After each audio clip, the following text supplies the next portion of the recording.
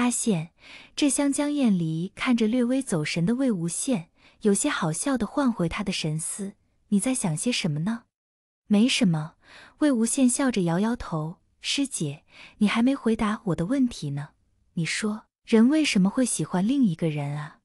这个师姐也答不上来了。江燕离沉思道。魏无羡不解，那师姐你怎么知道你是不是喜欢他？喜欢就是喜欢呀。你看到他的时候会开心，只是和看到别人时的开心又有不一样的感觉。但是他要是不开心，你说不定比他还要难受。江燕离拍拍他这个懵懂弟弟的肩，继续道：“总是希望他看着你，不要看别人，但是又怕他真的看你，因为那时候你会觉得很不好意思，也会害怕他看见你的眼睛就知道你特别喜欢他。”结果又不把你的喜欢当一回事，有时候他对你说一句话，你都要在心里揣摩好几遍，希望能看出来他也喜欢你，只是又怕这一切都是自己的臆想，不敢确认。大概就这样，就算是很喜欢了。魏无羡听得云里雾里，只得叹道：“好麻烦呀，这不是往自己脖子上套绳拴浆吗？”我还没问呢。江燕离轻笑了一声。阿羡问师姐：“这么多，是不是有喜欢的人了呀？”我才不会呢。魏无羡撇撇嘴。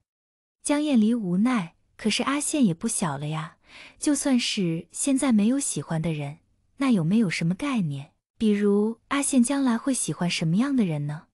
魏无羡沉思了一会儿：“我喜欢的人，我没想过。没关系，阿羡现在想也可以的。师姐和你说着玩呢。”怎么样都不要紧的，江燕离失笑。那好吧，魏无羡只好点点头。嗯，首先一定要长得好看。嗯，还有吗？江燕离眼唇。还有，要像师姐一样会做好多好吃的给我。魏无羡笑嘻嘻地道。嗯，阿羡是个馋嘴猫，这个一定是要的。江燕离点头赞同。魏无羡不高兴了，师姐你笑我。你怎么笑我？好，好，好，不笑你。还有吗？就这两个也太少了。江燕离安抚住他，还要修为好，可以陪我去夜猎。魏无羡补充。嗯，没了吗？江燕离道。魏无羡继续道，还要不怕我的？江燕离脸色一僵。确实，自从射日之争以来，鲜少有仙子会不惧怕魏无羡了。倒是仍旧有人给他抛花治果，但大多数也是冲着他的皮相和修鬼道的厉害。真要选择魏无羡结为道侣，恐怕他们都会退却的。说者无意，听者有心。江厌离满眼心疼，对上魏无羡疑惑的目光，却也只是叹了口气。阿羡这样万事心中过，无处惹尘埃的性情，倒也是挺好的。师姐给你做莲藕排骨汤喝。好不好？好。魏无羡笑着，用力点头。江燕离遂起身离开了。魏无羡目送江燕离远去，这才拾起一边散乱的图纸和一堆材料，兴致勃勃地拨弄罗盘的指针。这是他新想出来的，可以判断风水、指引邪祟的罗盘，还起了个名字叫做风邪盘，言简意赅。只不过还没有做好。然而方才和江燕离的谈话，却不知怎么竟是在耳边一遍遍回响。看见的时候会开心，但和看见别人的开心又有不一样的感觉。总是希望他看你，不要看别人，要长得好看的，修为好还不怕他。嘶啊！魏无羡想着想着，一个不察走了神，罗盘指针直接刺破了手指，疼得他一缩，慌忙将手指含进嘴里才作罢。只是随后，他因为疼痛而蹙起的眉头又揉杂了几分茫然。他这是怎么了？他刚刚是在想蓝湛。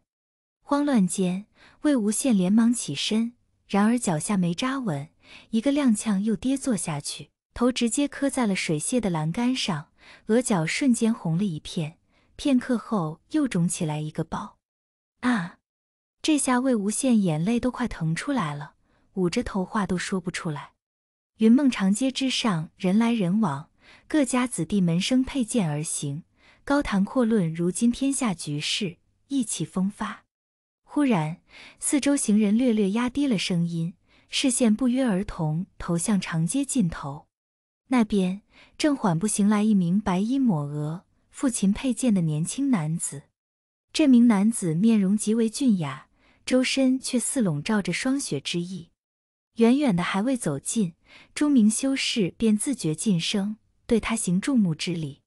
有略有些名头的大着胆子上前施礼，道：“韩光君。”自温室倒台，诸多修士声名鹊起，堪称是百花齐放。四大家族的这一辈，自然也是个中翘楚。蓝忘机后有有匪君子，赵氏如珠，景行寒光，逢乱必出之美誉，故号寒光君。比之其兄长毫无逊色。闻言，蓝忘机微微颔首，一丝不苟的还礼，并不多做停留。其他修士不敢太过叨扰于他。自觉退走，谁知正在此时，对面笑盈盈走来一个身穿彩衣的少女，与他匆匆擦肩而过，忽然扔了一样东西在他身上。蓝忘机迅捷无伦地接住了那样东西，低头一看，是一只雪白的花苞，花苞娇嫩清新，犹带露水。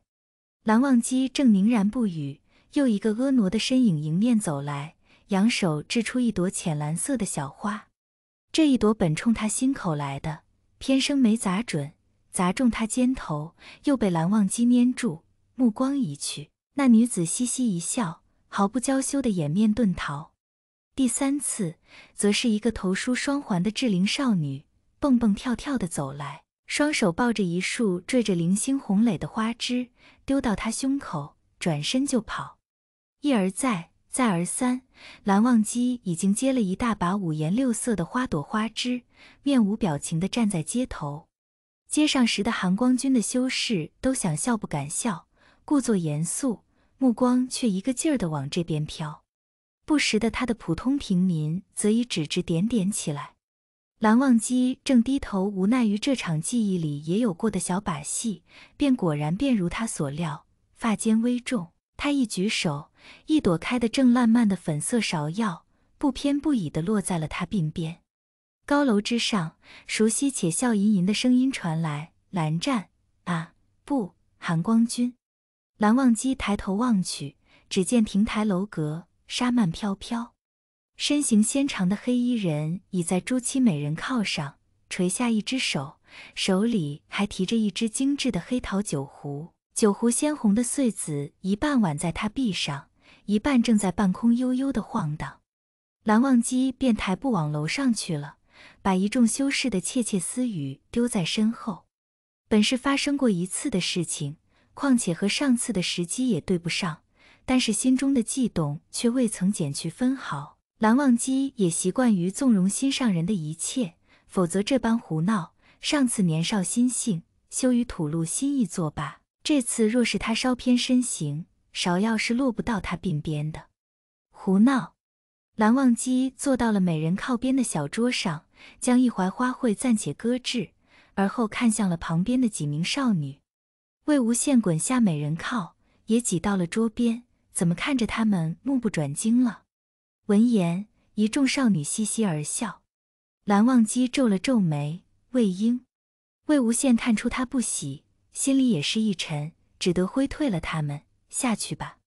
一众少女霎时便化作了青烟。魏婴，你不该与非人为伍，于身体有。魏无羡无奈摊手，好吧，我知道蓝湛你关心我，但是我真的太无聊了，请了你来云梦玩。我今天还特意起了个大早，这不一边等着你，一边也没人理我，只好先上了酒楼了。我远远看见你来。就叫了他们给你送花，还顺便点了一桌子菜，一会儿就上来了。你还怕人不理你吗？怕的。蓝忘机曾经问过这个问题，而魏无羡是这样的回答：这人什么时候都是前呼后拥，如今景况却是不比从前了。他这么爱热闹，现在一副孑然一身的模样，看着也实在是太过孤冷。他是忘了。这人在他面前一直是副嬉皮笑脸，但是他不在的时候，魏无羡却没有人陪着，是他的疏忽，其实从接受自己是朋友开始，哪一次魏无羡对上他不是带着讨好的意味的？送莲藕排骨汤，赠阴虎符，亭中积盏，邀他来云梦，楼台抛花，阁中点菜，挥退女魂，总是用自己觉得好的东西来招待他，他该是有多孤单，才会如此小心翼翼？